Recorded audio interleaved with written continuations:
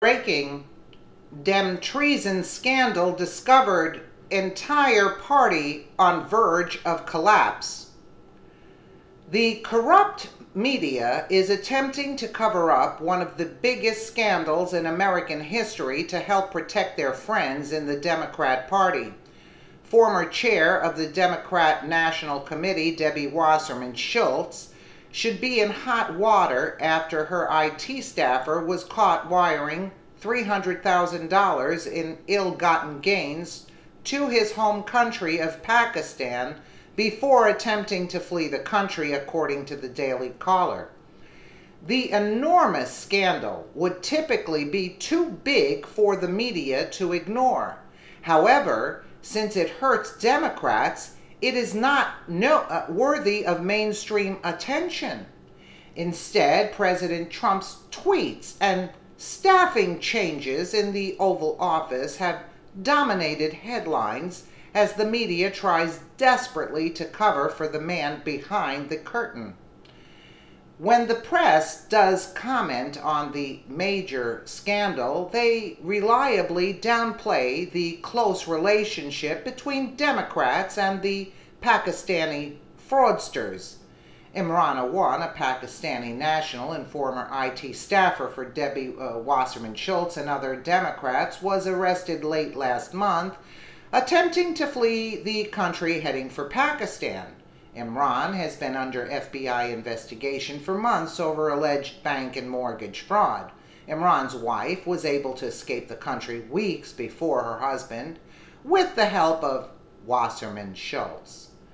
In February, Capitol Police rescinded Imran's access to House computers over concerns that he was stealing classified information and was sending it to an unknown source. Debbie Wasserman Schultz continued to employ the IT staffer despite his lack of access to any IT. Many are assuming that Wasserman Schultz has been blackmailed by Imran since he has access to all of her passwords and data. Wasserman Schultz's office only fired Imran after he was arrested. They knew he was traveling to Pakistan for at least six months and would be unable to perform his duties. Yet, the Florida Congresswoman was planning to pay his salary despite his complete lack of access and authorization. Something big is going down in the Democrat Party, and the mainstream media is completely covering for their close friends. Any reports about Imran are focused on Islamophobia, accusing publications like this of racism for reporting on one of the largest scandals in modern politics. I mean, is it absurd? It's totally absurd, and the dumb liberals are backing these people up. But I don't think there's so many dumbed down people as as they want to portray that there are as that many dumb people. There are a few, yes, but this is unbelievable.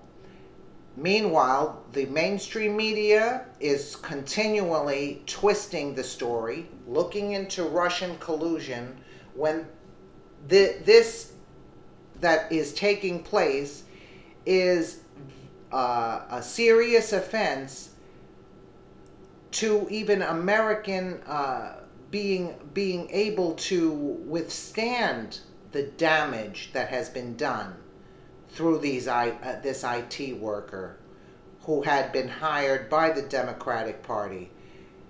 Now, who's behind all of this? I think it stems all the way back to Obama. Obama, that I'm thinking, is the one who hired all these people and allowed them to get into into office and positions in order to take down America. And I remember watching a video a couple of months ago, this was, before I started doing these videos, where Obama gave a speech um, and he said, the end of the republic never looked so good and you had the, the people in the audience laughing as it was a joke. Do you know he was telling people to their face what he was doing to America? And the people are laughing and looking at Trump as if Trump is the traitor. Trump is um, American, he's not a Muslim. And the information that was being transferred that compromised America was being transferred to the Muslim Brotherhood. Obama has infiltrated the whole um, the whole uh, judicial system with with uh, with all these traitors in there. So let us know what you think in the comments below. And again, thank you so much for watching.